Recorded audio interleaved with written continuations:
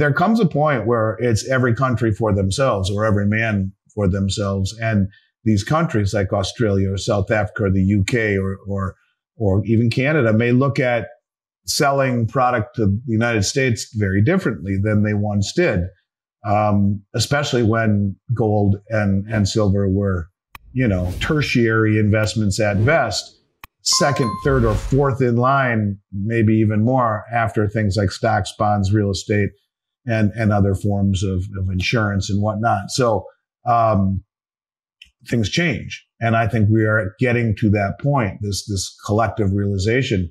And it's all going to be square in the face of the G7. And these are the countries that are selling gold to the United States, with the exception of South Africa, um, and may look at doing just that very differently and, and be more nationalistic and, and take care of their own. So, yeah, I, I think that this is this is exactly how it happened. In today's news recap, silver price forecast. XAG slash USD rebounds and climbs above $31. Silver prices bounce and cleared the October 9th high of $30.77, following mixed U.S. inflation and jobs data. Momentum turns slightly bullish, with buyers in control, as RSI breaks above the neutral 50 level. Key resistance lies at $31.50 for a bullish continuation, targeting $32 and the YTD high of $32.95. A drop below $31 could trigger a pullback toward $30.22 and $30.12. Silver prices bounced off a three-week low, rallied over 0.6%, and traded at $31.12 at the time of writing. Mixed data from the United States, U.S., showed inflation edging up and a soft jobs report. Although it triggered some upside in the precious metal, hawkish remarks by Atlanta's Fed President Raphael Bostic capped silver's advance. Silver prices have cleared the October 9th daily high of $30.77, extending their gains past the $31 figure.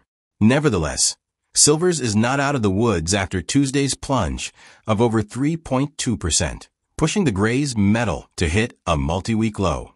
Momentum shifted slightly bullishly, as seen by the Relative Strength Index, RSI, piercing the 50 neutral lines, suggesting buyers regained control. For a bullish continuation, XAG slash USD must clear the psychological level of $31.50. Once surpassed, the next stop would be the $32 figure, followed by the year-to-date YTD high of $32.95. Conversely, if silver drops below $31, this could pave the way for a pullback. The first support would be the October 9th low of $30.22, followed by the October 8th swing low of $30.12. Now we'll show you the best clips of the latest interview. But first hit the like button, smash the subscribe button, and turn on notifications so you do not miss out our daily recaps. There are signs all over the place. You know, the Fed drops short term interest rates down, but at the same time, we see the back end of the curve start to go up. And, and that to me is the market or big money selling long dated claims for the future delivery of, of dollars um, which increases interest rates for the bonds. And this is this is not a good omen. Uh, this is is at the same time we see them buying gold and silver at a rate the world is, has never seen before. And I think that for a long time, um, we had, it seemed, this geopolitical cooperation, in particular in the price of oil and the price of gold um, with the Saudis and with other countries. And it seems as though this is the markets are no longer discounting this geopolitical cooperation, at least in my mind, in terms of the price of oil and in terms of gold. And they are starting to separate themselves. We can look at a country like, for example, in this case, a country like Poland, who has now decided to uh, continue to purchase gold. They're already at 420 metric tons. Um, it's got they have more gold now than uh, the EU. And when you talk about what Adam Glapinski, the head of the central bank, said is that he wants to get it up to as high as 20% of their foreign exchange reserves. And I want to remind people what Adam Glapinski said when asked recently, uh, you know, why is it that you buy gold? And he says, um, because gold will retain its value even when someone cuts off the power to the global financial system, destroying traditional assets based on electronic accounting records. Now, of course, we don't assume that this will happen, but as the saying goes, forewarned is forearmed. Uh, when you hear things like this, it becomes very, very important. We're seeing re- uh, the breakout of gold in Swiss francs, which is uh, a very important confirmation uh, because the the especially in terms of other currencies where we've seen gold break out in most currencies but the Swiss franc has been one of the world's top performing currencies this year and in years past. And a breakout in Swiss francs above moving averages is even more, uh, you know, monumentous. And, and it is, and it's happening. Uh, we're seeing countries like Iran who have um, increased their gold ownership and purchasing by six times this year um, uh, compared to the same time last year. And there was an interesting um, article that came out about a hacking group uh, that exposed documents from a company called uh, Tandar Sa- Sa- Sara. I know I butchered the hell out of that name, but anyways, this company is involved in drone technology and it's linked to to Iran, to their military. And the hacked documents that came out, kind of like a WikiLeaks thing, said that Iran paid 1.75 billion in a deal for uh, drones, and the payment was made with several tons of gold ingots. We're seeing a shift away. We're seeing a movement away from the West, a shift away from treasuries, a shift away from dollars, and, and a changing of the guard. And, you know, countries are tired of sanctions and the bullying, and they're trying to get out of the way of the West. And they're doing that by purchasing over a billion, excuse me, a trillion dollars of gold since 2022 while selling a trillion dollars in treasuries. This is a trend that is unmistakable. When we talk about the countries in Project mBridge, uh, the ones that that are moving to what I believe is is really the big big moment, and that is if indeed we see a common settlement currency come out of this meeting in October or in a few weeks here in, Russia. It's noteworthy to note that um, all of the countries in mBridge, uh, China, Hong Kong, Thailand, UAE, they all run a current budget surplus, and all of them have been increasing their gold reserves.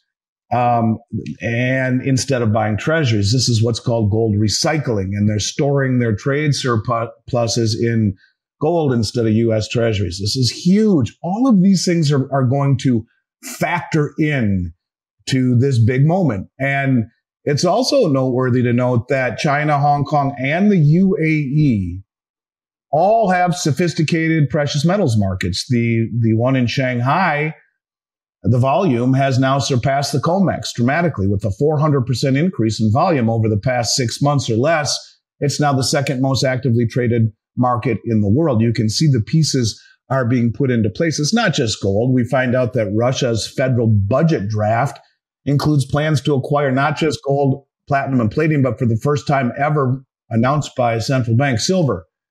And it's the first time that the central bank has ever made a significant announcement in this regards. And, you know, could it push it above 50? Yeah, why not? When you have stupidity to the degree that we have suppression on the COMEX market, on the LBMA, yeah, it's rocket fuel.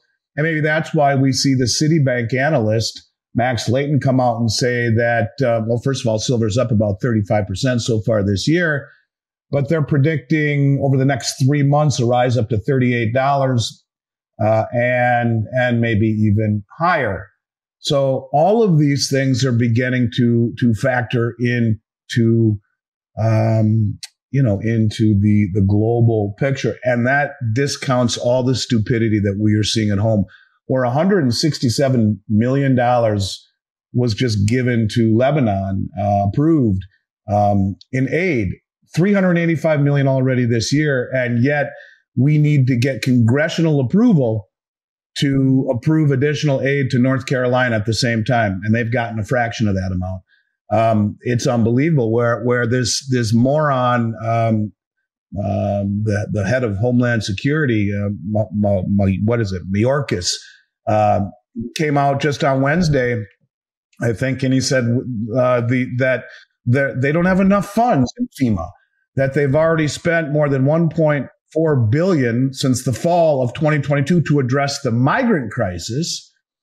Uh, and they expect another hurricane hitting a la tomorrow, uh, but they don't have enough money to, to do it. And, you know, it, it's, it's, it's disgusting that we've given $1.4 million to illegal immigrants here, money taken from FEMA to, and at the same time in a, in an environment you know, and this is kind of just, I digress for a second, where it just seems that with this modern monetary theory BS that's all over the place, where we can spend money to a degree that no one's ever seen before, we can create a, a, a hundred thousand in debt every second and a trillion every hundred days, which took 200 years to do the first time, that we don't even have enough decency uh, and even a hollow gesture to to stuff the coffers of uh, of organizations like FEMA so they can come in and help us when we need it most. it's just unbelievable that we give money all around the world um, and and don't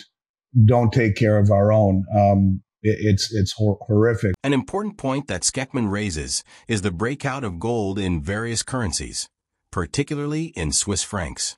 This is a significant development because the Swiss franc is one of the world's strongest currencies. The fact that gold is breaking out in such a stable currency indicates a rising demand for precious metals, not just in weaker economies, but even in stronger ones. Furthermore, Schectman underscores that countries like Iran have increased their gold purchases by six times compared to last year. Iran has even used gold as a means of payment for military technology, highlighting the rising importance of gold in international trade. The de-dollarization trend continues to gain momentum as countries move away from U.S. treasuries in favor of gold. Since 2022, countries have sold approximately a trillion dollars worth of U.S. treasuries while purchasing a trillion dollars worth of gold. Schectman emphasizes that this is not just a coincidence, but a carefully calculated move by countries to protect themselves from the sanctions and monetary policies of the West. Project mBridge, a collaboration between China, Hong Kong, Thailand, and the UAE, is another sign of this shift. All of these nations run current budget surpluses and are stockpiling gold rather than U.S. treasuries, indicating a long-term plan to move away from dollar reliance. Schectman points to China as a key player in this shift, particularly through the Shanghai Gold Exchange, which has now surpassed the COMEX in trading volume. He notes that the rise of gold markets outside of the U.S. is a clear indication that power is shifting eastward. In Russia, plans to accumulate not just gold, but also platinum, palladium, and for the first time, silver, are part of a broader strategy to decouple from Western financial influence. Schectman speculates that silver prices, which have already risen significantly this year, could rise even higher with some analysts predicting a near-term surge to $38 per ounce or more. One of the more alarming points Schectman discusses is the possibility of gold revaluation. He believes that central banks, particularly in the West, are fully aware of the role that gold can play in stabilizing their economies. Rather than confiscating gold, Schectman suggests that governments may allow the price of gold to rise so dramatically that it effectively prices out the average investor. This is what he refers to as the gold revaluation, a process that could be used to pay off massive national debts without resorting to outright default or hyperinflation. There comes a point where it's every country for themselves or every man for themselves. And these countries like Australia or South Africa or the UK or, or, or even Canada may look at selling product to the United States very differently than they once did um, especially when gold and, and silver were, you know, tertiary investments at best, second, third, or fourth in line, maybe even more after things like stocks, bonds, real estate, and, and other forms of, of insurance and whatnot. So, um, things change. And I think we are getting to that point, this, this collective realization. And it's all going to be square in the face of the G7. And these are the countries that are selling gold to the United States, with the exception of South Africa, um, and may look at doing just that very differently and, and be more nationalistic and, and take care of their own. So, yeah, I, I, think that this is this is exactly how it happens. You know, I was talking with my dad the other day and said, "Yeah, I don't think there'll be gold confiscation. They'll just make gold so expensive that no one can afford to buy it." And and this is the gold revaluation. And, and I want to, you know, I, have read this before, but I want to read it one last time before we sign off.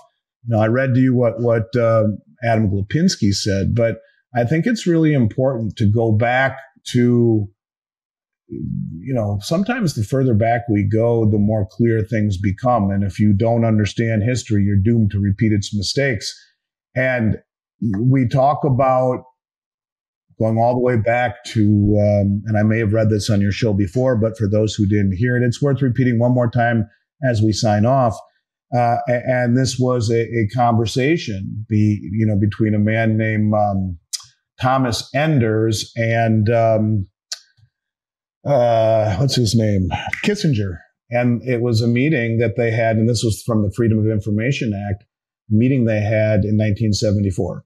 And it goes like this. Um, Mr. Enders says to Kissinger, it is against our interest to have gold in the system um, because for it to remain in it would result in it being revalued um, periodically.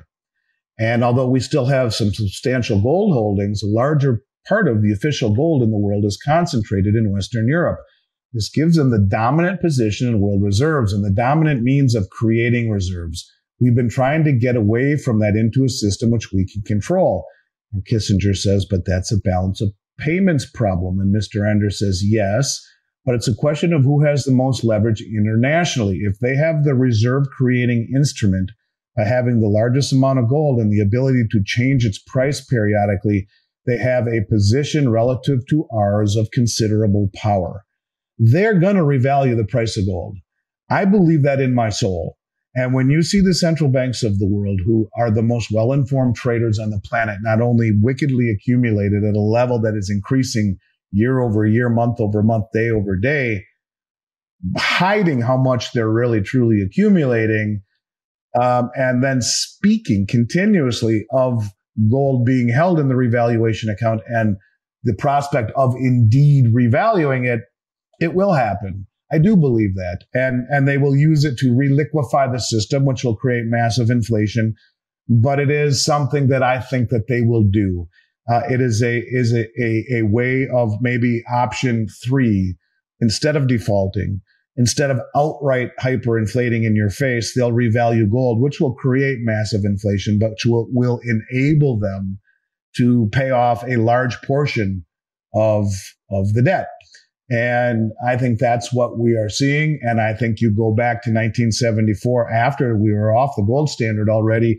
So they're calling it a reserve creating instrument. Gold is eternal. They understand this. The big money understands it and he who has the gold and the commodities makes the rules and all of the metal is heading eastward. So whether we beat them to the punch and kind of steal their thunder which wouldn't surprise me or they do it uh, i would say by and i don't want to to go out on a limb but i will and say you know by this time next year wouldn't surprise me one iota if we saw gold revalued to a level that would shock people.